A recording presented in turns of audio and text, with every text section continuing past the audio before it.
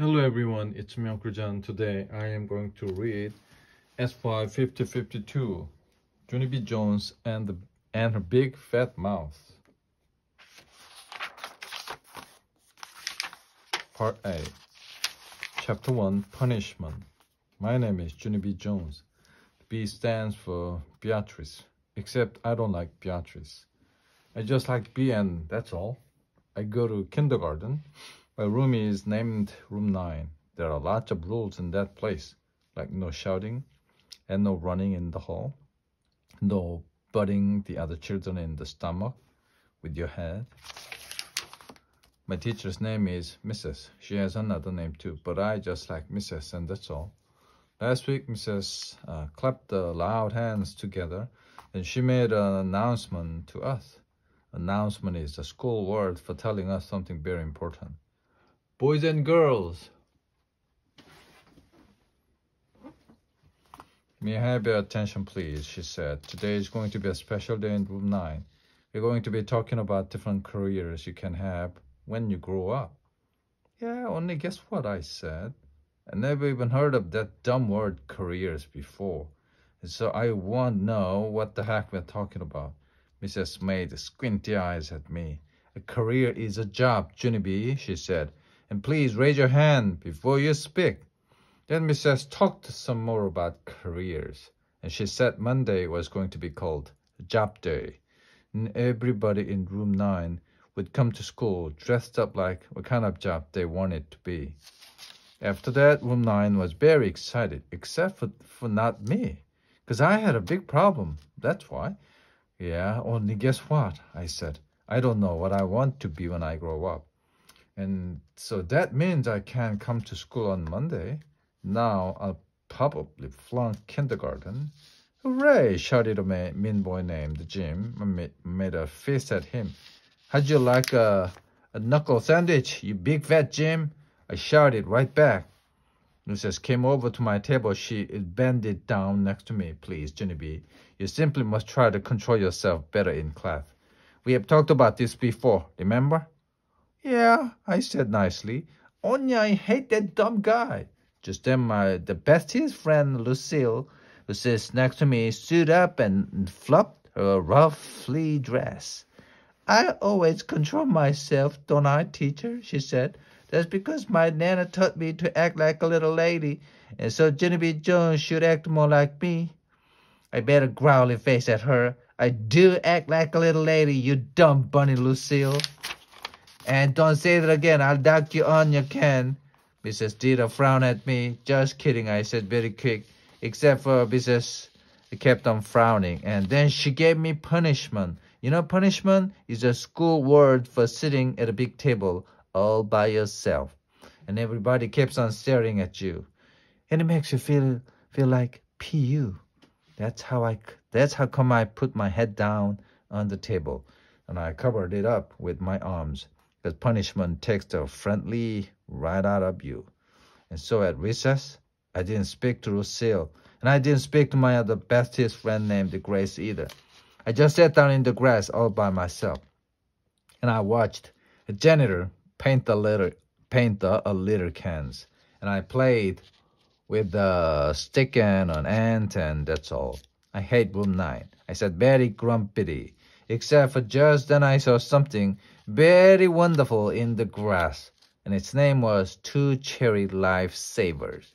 Hey, I love those guys, I said. Then I quick picked one up and I, I blowed off the germs. I put it right in my mouth. Wait, don't do that, shouted a loud voice at me. Spit that out right now. I turned my head. It was janitor. He was running at me. Spit it quick. His jingly keys were jangling all over the place. Spit that out, I said. He yelled again. And so then I spit the cherry lifesaver on the ground because the guy was scaring me. That's why. Janitor bended down next to me. I didn't mean to frighten you, sis. He said, but I spotted a bunch of dirty candy in the grass and I was going to clean it up when I finished painting. He looked serious a bit. Don't ever eat anything you find on the ground. Do you hear? Not ever. But I blowed off the germs, I told him.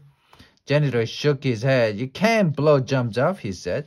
Eating things that you find on the ground is very, very dangerous. The janitor picked up the dangerous candy. Now run along and play, he said.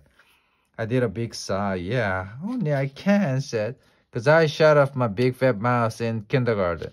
And then I got punishment. And now I hate my bestest friend Lucille.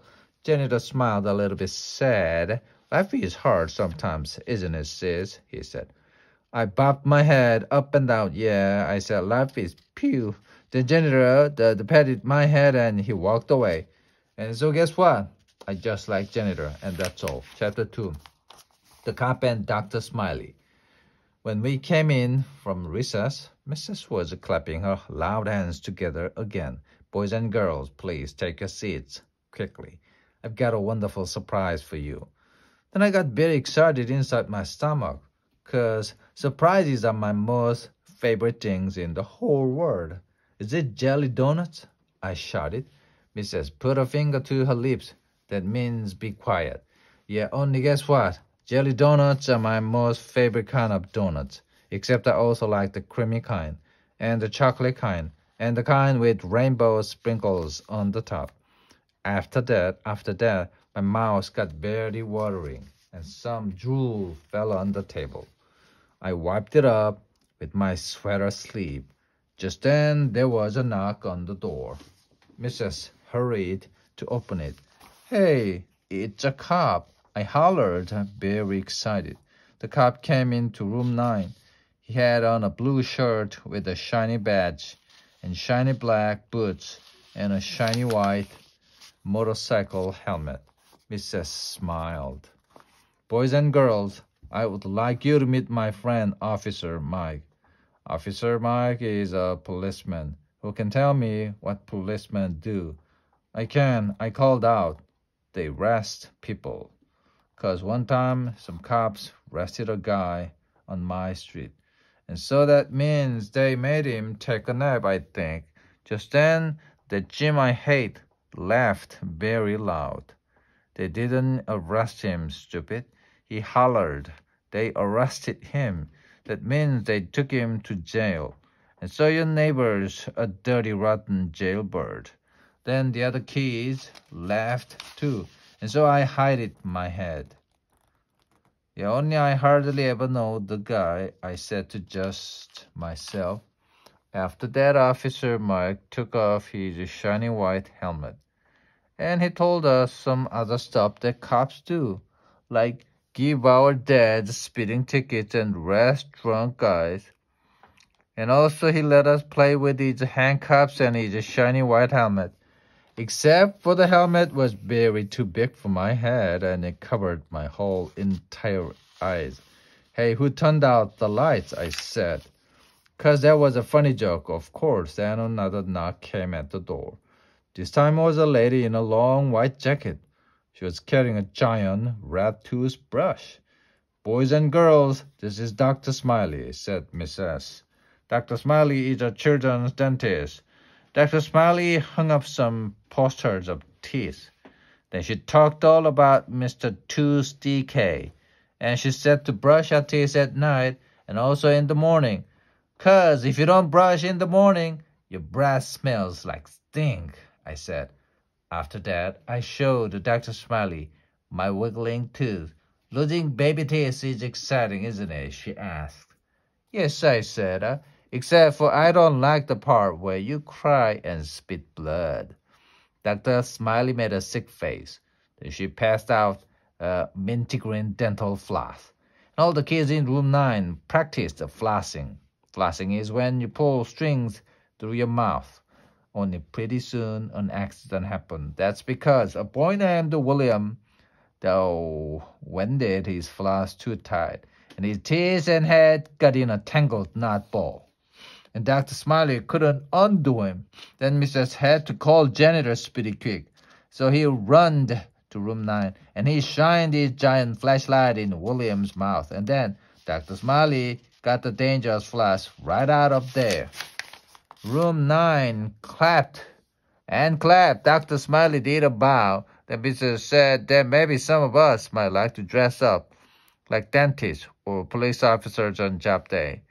Yeah, only what if you don't like drunk guys or bloody tears? I asked. Princess rolled her eyes way up at the ceiling. Then she walked Officer Mike and Dr. Smiley out into the hall. That's when room 9 started buzzing very loud. Buzzing is what you do when your teacher leaves the room. I'm gonna dress up like an actress on job day, said a girl named Emily. I'm gonna dress up like a princess, said my bestest friend Lucille, that I hate. I did a giggle. I'm gonna dress up like a bullfighter, I said. Then I ran speedy fast around the room and I buried that mean Jim in the stomach with my head. And guess what? I didn't even get caught. That's what. Chapter 3 Me and My Big Fat Mouth. After school was over, me and my bestest friend named Grace walked to the bus together. Except for that, Grace kept on wanting to skip, and I didn't. How come you don't want to skip? she said. Me and you always skip to the bus. I know, Grace, I said.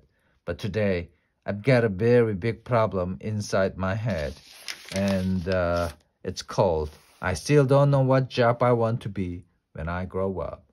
I do, said that Grace. I'm gonna be Mickey Mouse at Disneyland. I did a big sigh at her. Yeah, only too bad for you, Grace, I said. Because there is only one real alive Mickey Mouse, and you're not him that Grace laughed very hard. Mickey isn't real, silly. He's just a mouse suit with a guy inside, she said. And so just then I felt very sickish inside of my stomach, because I didn't know Mickey was a suit. That's why. What did you have to tell me that for, Grace? I said, real upset. Now I feel very depressed. Then I hurried up on the bus and I scoot, scooted way over by the window. Except I couldn't get any peace and quiet, 'cause everybody kept on talking about dumb old job day.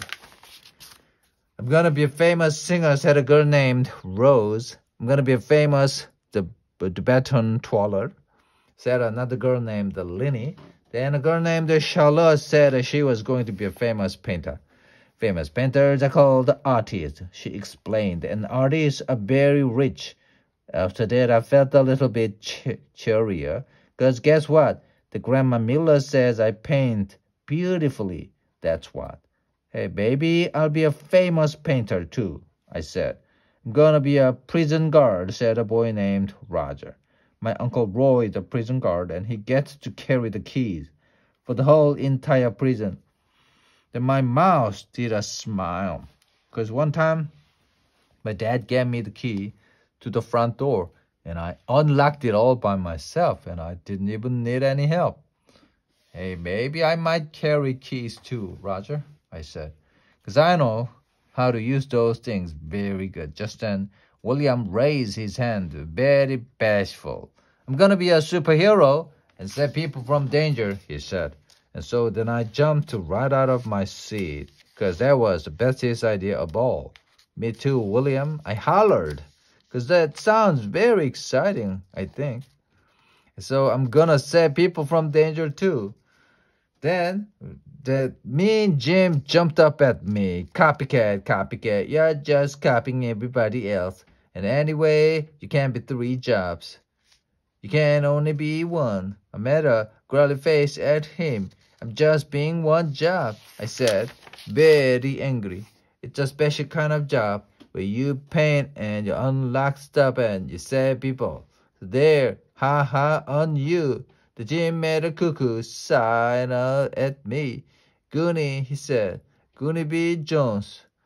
There's no such job like that in the whole entire universe. Yes, there is. There is too. Big fat big fat Jim, I yelled, and it's the bestest job in the whole wide world. He crossed his arms and did a mean smile. Okay, then what's the name of it? He said. Then the bus got very quiet, and everybody kept on waiting and waiting for me to say the name of my job. Except for I just couldn't think of anything, and so my face got very reddish and hardish. I felt like pew again. See, told ya, said the mean Jim. There's no such shop. Told ya, told ya, told you. After that, I sat down very quiet and I stared out the window because a sickish feeling was back inside my stomach again. That's why. Me and my big fat mouth, chapter for dumb Ollie. I got off the bus at my corner. Then I run to my house, speedy quick. Help, help, I'm in big trouble, I yelled to mother because I accidentally uh, shut off my big fat mouse on the bus and now I have to paint and unlock, stop and save people from danger. Only what kind of stupid dumb job is that? Back here called monster. Back here means the nursery. The nursery is the place where my new baby brother named Ollie lives. I ran there very fastest. Mother was rocking Ollie in the rocking chair. He was a little bit sleeping. I need to talk to you very bad. I shouted some more because I did a big fib and now I don't know how to get out of it. Just then Ollie waked up.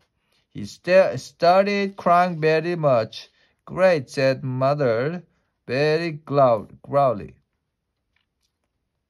You're only sorry, but I'm upset here, I explained. Ollie scratched louder and louder. His voice sounded like a scratch sore throat. Mother put him on her lap, then she rubbed the side of the of his forehead with her fingers. That's cause she had a, a migraine headache. I think you're just going to have to wait until I get the baby settled again, she said. Still grumpy? Yeah, only I can't wait, cause mother butted in. Not now, Genevieve. I'll be out to talk to you as soon as I can. Now, please go. Then she pointed at the door. Pointing means, out, out. Darn it, I said, darn it, darn it, darn it. Cause that dumb old baby takes up all of mother's time and he's not even interested. He doesn't know how to roll over or sit up or play Chinese checkers. He's a dud, I think. I would like to take him back uh, to the hospital, but mother said no. After I left the nursery, I went outside in front my my front yard and I sat in the grass all by herself by myself and I played with the stick and another ant. Only the stupid ant bited me and I saw I had to drop a rock on his head. Finally my daddy's car came into the driveway and my heart got very happy. Daddy's home, daddy's home, hooray, hooray, I yelled. And I ran to him. And the pig and he picked me up and I gave him my most biggest hug. I'm very glad to see you, I said, cause on Monday I have to dress up like what job I want to be. Except for I accidentally said I'm gonna paint and say people and carry lots of keys. Only what kind of dumb bunny jump is that? My daddy put me down. His eyebrows looked confused at me. Can we talk about this at dinner? He asked. No, I said, we have to talk right now because I've already waited all I can and I'm getting tension in me. Well, I'm afraid you're just going to have to wait a little more, little while longer, said Daddy, because right now I've got to see if your mother needs help with the baby. Then he did a kiss on my head and he walked right into the house. And guess what? Sometimes I wish stupid dumb Ollie never even came to live with us.